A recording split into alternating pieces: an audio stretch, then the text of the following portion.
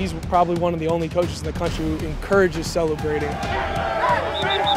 It's fun. Practice is fun. I mean, I think the first time I told them they were doing up downs because they didn't celebrate enough, they looked at me like this guy's off, you know, off this planet.